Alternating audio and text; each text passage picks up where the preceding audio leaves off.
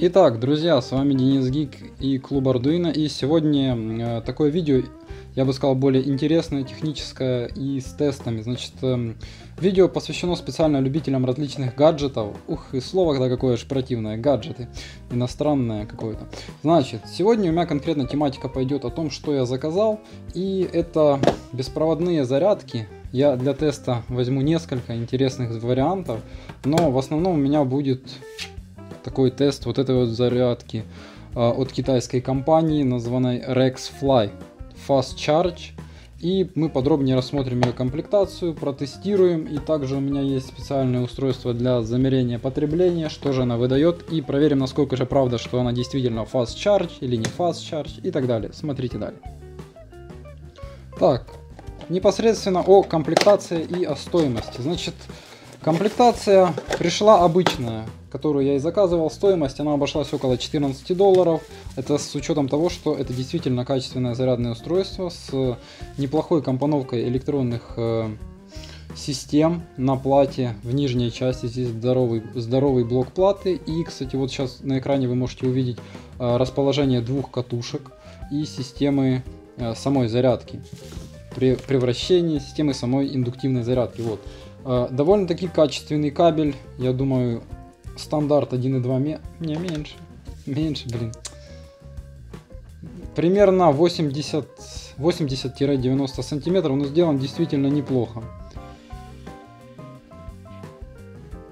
Не знаю, насколько качественная там медь и жилы какой толщины, но посмотрим. И у меня также есть несколько кабелей, с которыми я буду проверять. Обычный обычный талмуд, э, который говорит нам о том, что здесь есть действительно две катушки э, и поддерживает зарядку телефона как в горизонтальном, так и в вертикальном положении.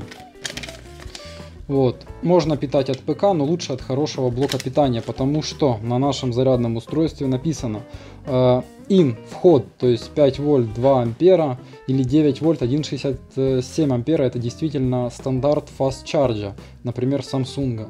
Э, и выход у нас 5 вольт 1 ампер и 9 вольт 1,1 ампера. То есть в принципе на КПД на 5 вольтах теряется ровно 50%, половина. На 9 вольтах э, почему-то меньше. Возможно из-за того, что передача происходит на более высоком напряжении.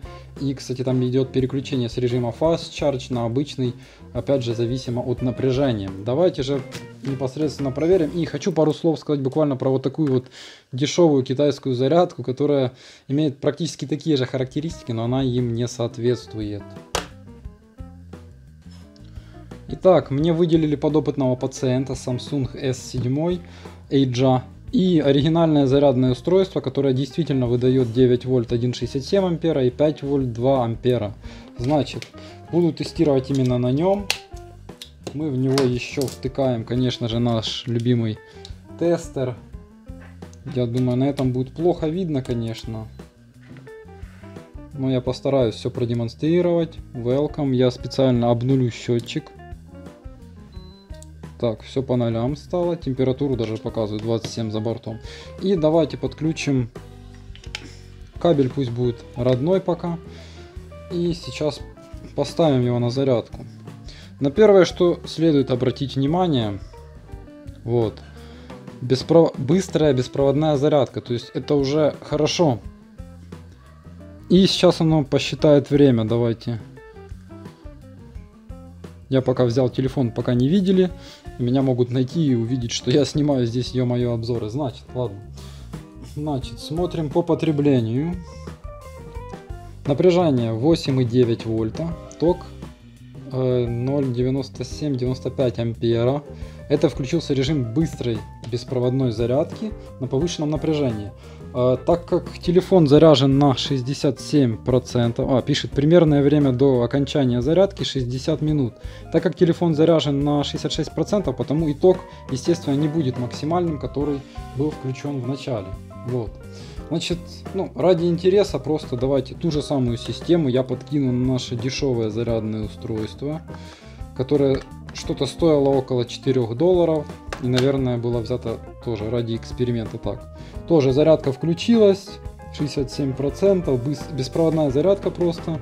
И вы видите, что 4,97 вольта и 1,24 ампера потребляет, хотя даже, нет, только растет, растет. А, 1,34 ампера. Но, учтите, судя по заявленным характеристикам, КПД э, имеет 50% потерь, потому делим в половину и получаем 700 миллиампер, ну меньше, 650 миллиампер зарядный ток при 5 вольтах.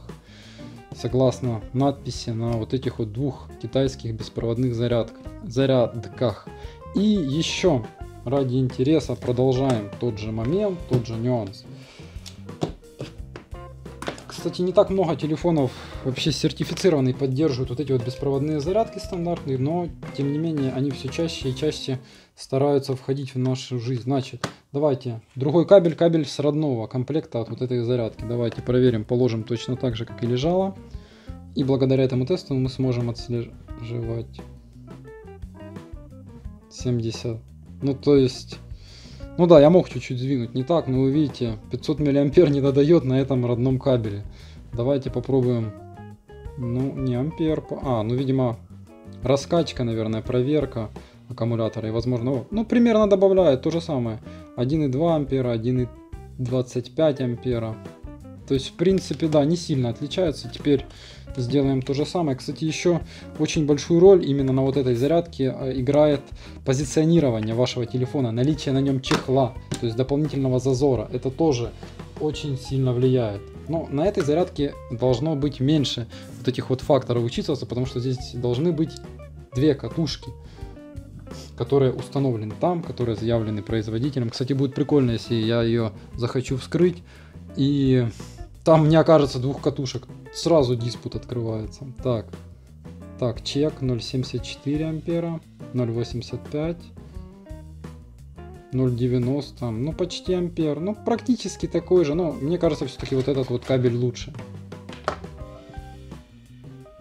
Ну, видите, вполне, блин, неплохо. То есть при, ну еще при 5 вольтах бы померить.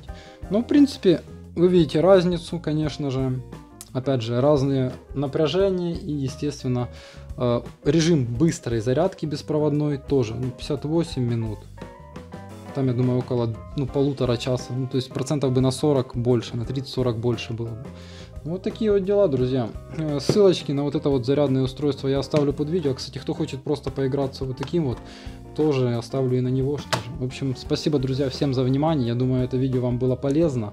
Эм, потому что Э, еще пару нюансов о том, что самсунговские родные зарядные устройства беспроводные, они немерено дорого стоят за бренд, а по сути заряжают э, на таком же уровне, как вот эти вот китайские аналоги, типа Rexfly и другие тоже популярные, кстати, отличающиеся только, наверное, начинкой, ну, в минималке начинкой, а больше во внешнем виде, потому что те, которые идут все в Fast Charge, они имеют две катушки. Скорее всего, под э, два разных напряжения, либо же это контроллер Э, управляет именно напряжениями на одной, на каждой из катушек. Хотя здесь странно, если телефон может заряжаться и вот так вот, то есть вы видите, индикатор включился, заряжается, то есть вероятнее всего одна катушка задействована, но все равно режим быстрой зарядки у нас включен. То есть все хорошо. В общем, друзья, э, если у кого есть еще хорошие варианты китайских зарядок беспроводных скидывайте под это видео описание. Я думаю, пользователям будет интересно. В общем, спасибо за внимание. Такой вот небольшой обзор гаджетов. Э, с вами был Денис Гик. Подписывайтесь на мой канал. Пока-пока.